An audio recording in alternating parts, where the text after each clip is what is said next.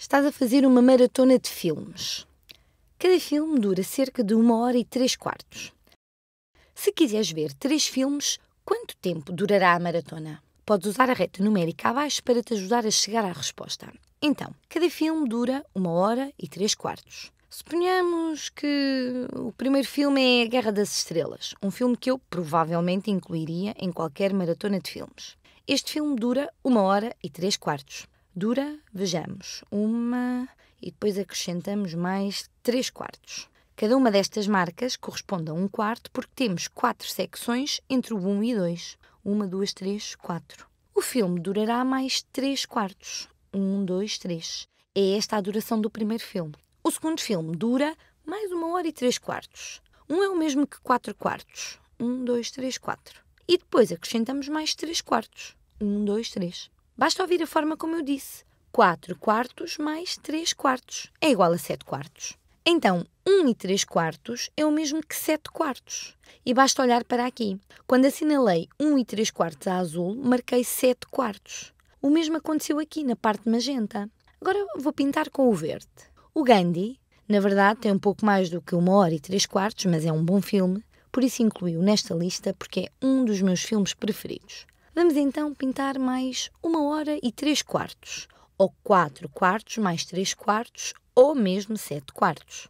Um, dois, três, quatro, cinco, seis, sete. Isto dá, dá, cinco.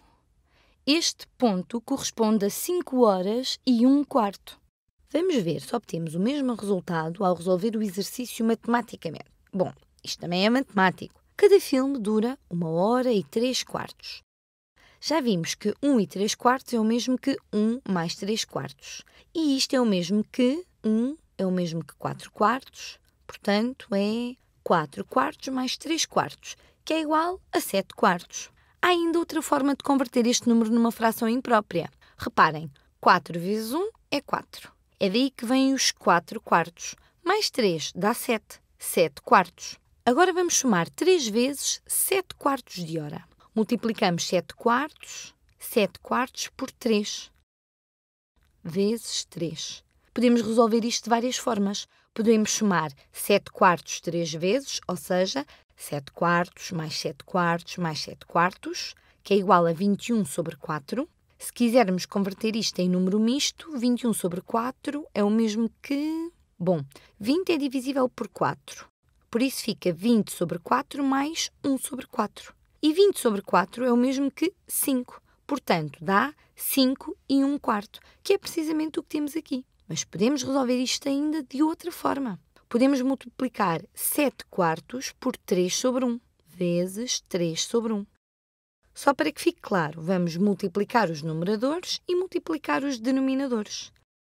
Então, no numerador ficamos com 7 mais 7 mais 7 que é 7 vezes 3. E no denominador ficamos com 4 vezes 1, que é 4. Isto dá 7 vezes 3 sobre 4, ou 21 sobre 4, que, como já vimos, é 5 e 1 quarto.